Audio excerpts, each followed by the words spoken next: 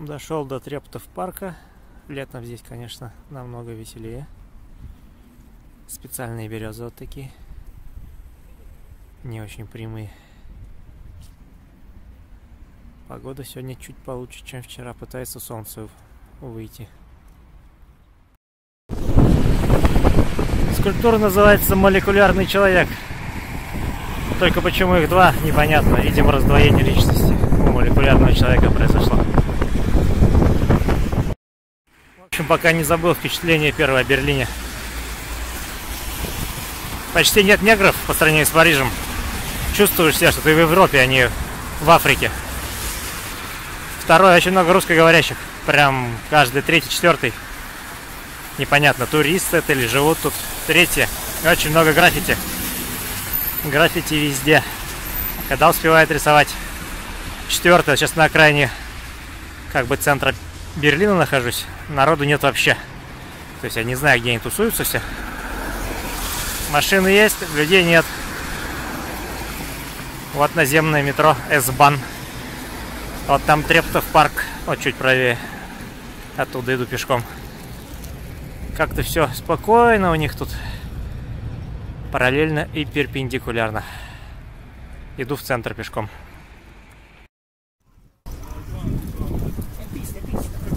В общем, вот район Side с кусочком Берлинской стены вот этой. Дошел до него. Тут уже людей побольше. И кто такой? Непонятно. Похож на Горбачева.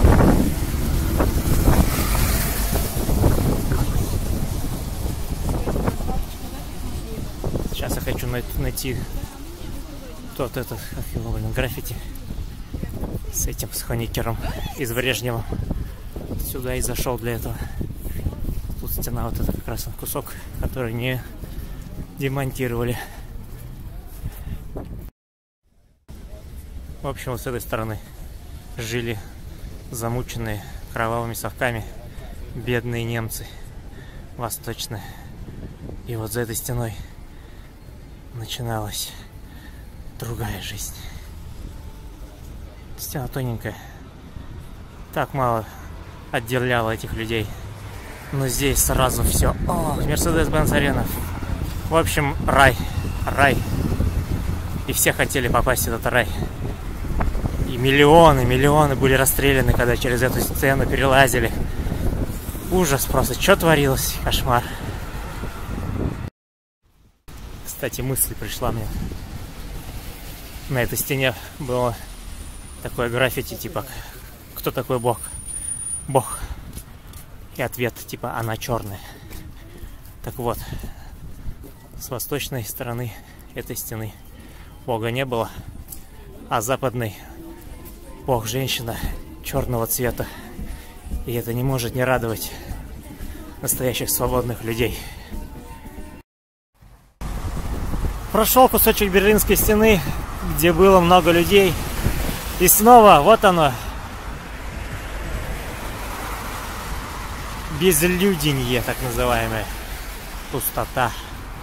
Хотят до Александра Плац рукой подать. Вот эта телевизионная вышка стоит на Александра Плац, куда я и направляюсь. Тут буквально, может, пару километров осталось. Два-три человека встречается за полчаса. Я понял, где все люди, они все работают. Работящие немцы. Как в Белоруссии. Также никого нет на улицах.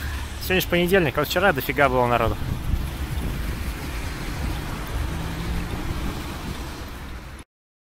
Пельмен, вот такой вот он. Зеленый и красный. Место достопримечательности.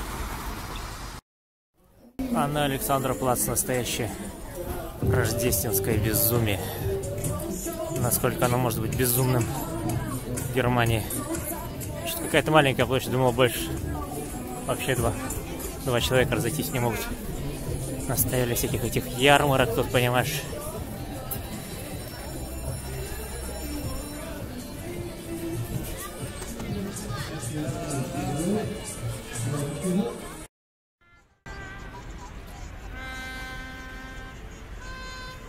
Вот тут добрался до кафедрального собора. Единственный минус поездок зимой – короткий световой день. То есть буквально, с, там, не знаю, с 11 сегодня до 3 было светло. Все. И все. И начинается вот такая жопа со сведением, со всем остальным. Фоточки в инстаграмчик уже не выложить. Либо iPhone 11 покупать. В общем, не могу молчать. Вход на ярмарку вот здесь. Один евро.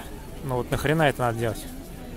Вас там выпьют больше. Зачем один евро-то еще брать? Что за голодранцев тут в Европе все?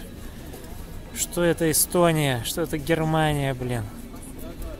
Позорище, один евро. Зачем? Вот народ стоит в очереди с билетиками.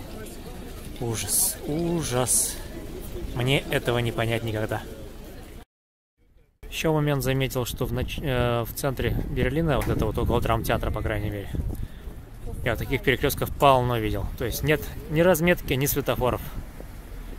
То есть непонятно, где же это вот знаменитые немецкое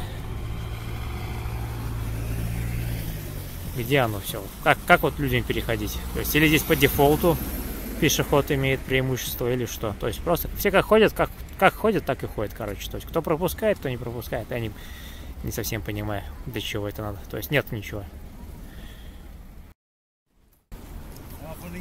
Улица Унтерден Линден, ведущая к Бранденбургским воротам. Вот по ней я иду. Довольно красиво.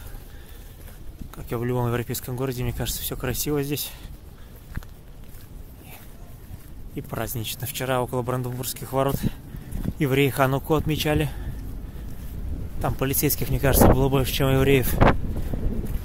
Сейчас проверю, что там творится. Может, праздник продолжается.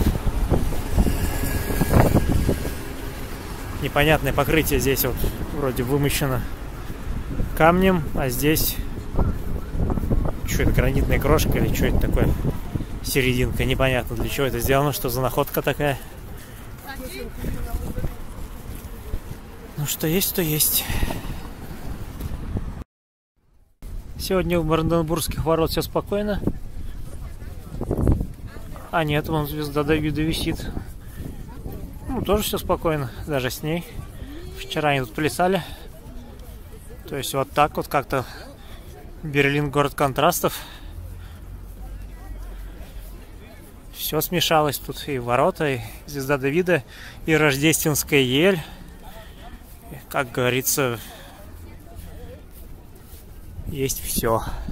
На любой вкус.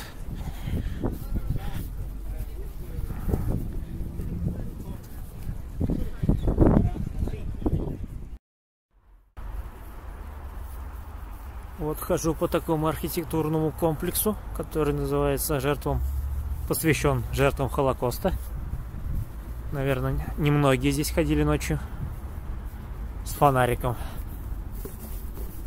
Сделано прикольно. Такие бетонные блоки разной высоты. Да, ночью здесь все по-другому, не как днем специально сделаны такие эти как бы углубления, возвышенности. Хоп, поворачиваем направо и выходим.